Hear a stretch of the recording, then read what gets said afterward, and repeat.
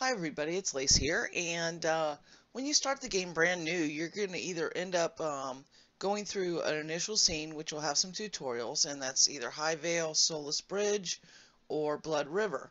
Um, I'm right now at, like, let's pretend that I just completed uh, the Solace Bridge uh, starter area. I'm going to end up about right here, and my quest is going to tell me to find this guard captain. It's going to happen to be this guy. When I talk to him, his name's going to be Stanley. I actually haven't completed uh, the Solace Bridge um, massacre on this character, but you know we can pretend. Um, I'm basically going to end up here. This tutorial is going to cover um, overland map travel and uh, what the different things that you see on the overland map is, but I'm just starting out right here pretending I'm a brand new player. I would probably talk to this guy. He's going to give me some quests. Um, he's and then I'd roam around this area and picking up other quests. That'll be covered in another tutorial. Again, this is uh, going straight to the overland map. So I'm just going to run back out of this scene and uh, I'll meet you on the other side after zoning. Okay, so I just came out of Soltown. Uh, probably the first thing to cover um, is like a glossary of terms. Okay, Soltown is what we call an NPC town. These are distinguishable on the overland map because you'll see their name in runic and then the name that way. Um, if you see only the runic, well, that's not going to be very helpful unless you speak runic. Uh, some people speak Klingon, but maybe you don't want to spend a few months learning runic to be able to read these. So let me show you how you make sure that you can see the word Soltown and not just the runic symbol. If you're only seeing the runic symbol, hit escape. That's going to bring up your uh, game controls. And if you go about, you can see it's about a third of the way down. You're going to see show translated names. If I uncheck that, you see how Soltown disappeared from there? So you're going to probably want to make sure that's turned on. You could accidentally turn it off and stuff, but that's how you get it back. Show translated location names.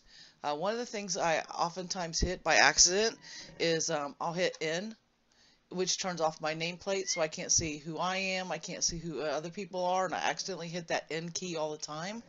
Uh, another one I accidentally hit while playing is the M key. When I hit the M key, you saw how my compass disappeared. It also shows, you know, the time of day, uh, the date and stuff, and time of day is going to be uh, more important later. Um, there might be crafting events. It's also some merchants uh, might shut down during certain times of day in certain scenes. Uh, but so M brings that back and forth from displaying. N is the one that turns my nameplate off. And as a brand new player, I myself was hitting these, turning them off, getting lost. I wandered around for days lost on the overland map. So I'm going to try to help you out by uh, going over everything I know I've done wrong so that you don't make those same mistakes. The second part, uh, when thinking about a glossary of terms, is we called this an NPC town, Soltown. And again, I said, you know, distinguishable by the little scroll bar there. Um, the other terms that you're going to hear is POT, PRT. POT is uh, the abbreviation for player-owned town, and that's literally somebody has bought a little scene where they can customize it, put housing in there, uh, they can live there, they can have people live there. Um, there's different things going on. Different player-owned towns have different uh, um, environments. Some are snowy, some might be a swampy, things like that. Um, the other thing is um, uh, PRT. PRT are player run towns. These are different because the player run towns, um, they're not exactly owned by a player. Uh, like an example would be is Darkstar. Um, your uh, one of your devs, he he has a player run town, and it might have a static layout and he has specific things and he might turn the permissions on and off to where he only allows certain people to live there. Um, so that's the distinction. Uh, moving along this overland map, look, we got people all over here. Hopefully they don't mind being in the video. I'll find out later if they want to be omitted from the video and I'll have to reshoot this segment. Um, but I'm kind of running along the path here. Um, we just came from Soltown. Solace Bridge, that's kind of where you had started out the, the massacre. You can see that this is a, a scene or an NPC area because of the scroll bars. So this is a scene. It's it's not a town. Um, when you see these icons over it, that means it's a, um, a, a development or a game asset.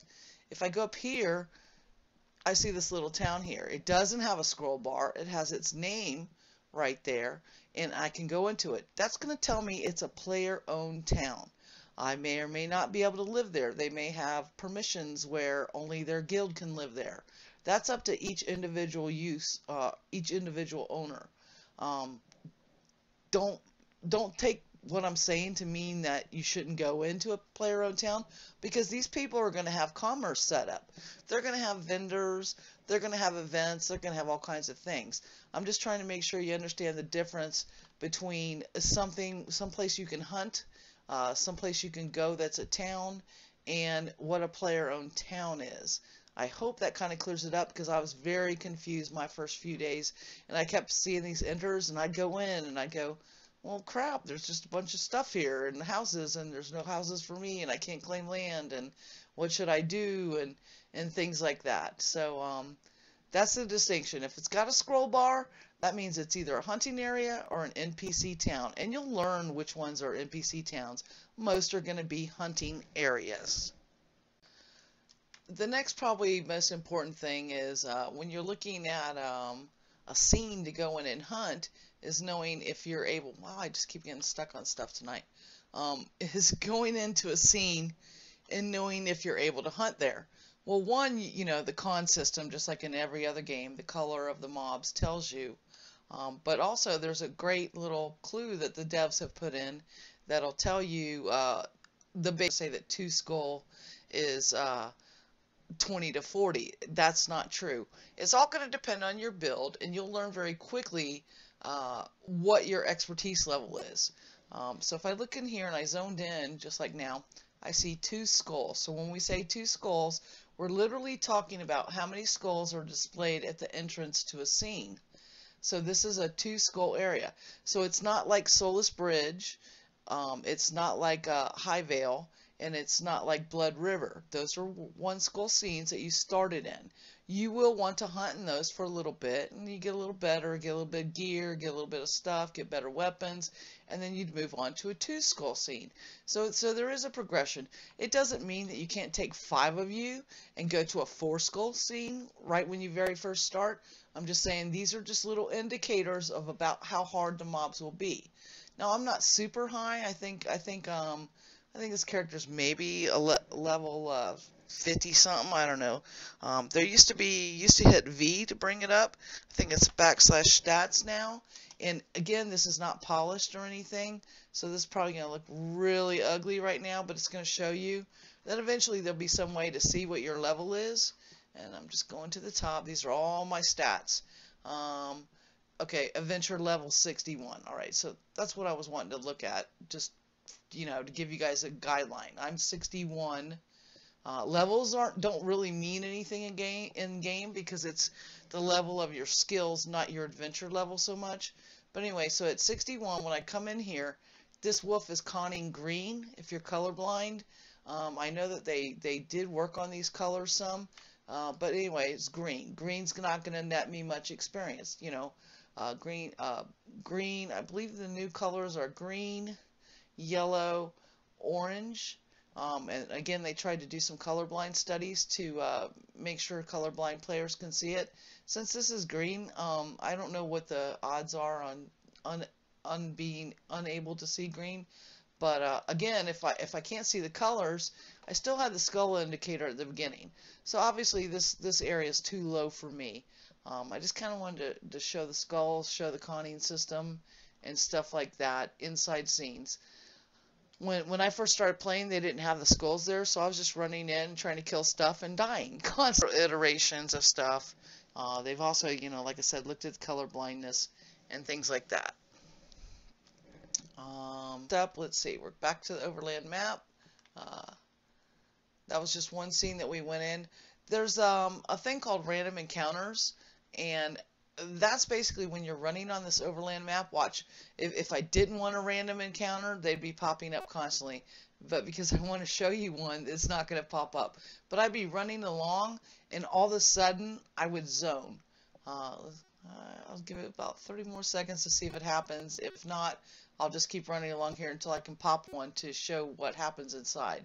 Doesn't look like I'm going to get one. I'm almost to what's going to be called a control point. And you can identify control points, one, because they're going to have the runic name and then the name, and you're going to see you can't go in until you enter. A control point is what separates regions in the game. Um, they, they like to call them economic uh, zones, so that basically anybody living here, um, these scenes might produce a lot of timber or, or uh, mining, and to get to the next zone, which might produce a lot of cotton or something. I'm not saying that's how it is. Um, these are just barriers to get through them. When you're brand, brand new, it's going to be very hard to navigate and get through this area because these are higher level monsters. They're meant as a barrier to separate zones. Um, you can navigate them though as brand new. You might die and you're going to have to learn how to, you know, get through them, dying and, and resurrecting and to get through them. Um, but they are meant as a barrier. Also inside of each one, uh, there will be somebody that you can pay to zone you from one end to the other. And I guess maybe we should show that. So I'm just going to hit pause for a second and go in there and then get up to the guy and kind of show that. Okay, so I just zoned in East Reach, East Reach Gap. Look, one, two, three, four, five. Ow, if I'm a brand new player, five skulls, I'm going to get eaten. I should just know this. Now, if I'm a brand new player and somehow I'm uberly rich because my BFF gave me 50,000 gold because, you know, I'm just, you know, that cool. I could talk to this guy and he'll take me to the other end of the zone and I won't die. But just to illustrate kind of how running through a zone goes, uh, I'm not going to take the cheap way. Well, it's not that cheap. 1500 is a lot of money. Uh, I'm just going to keep following my path. Things are going to attack me. Look at Khan's yellow.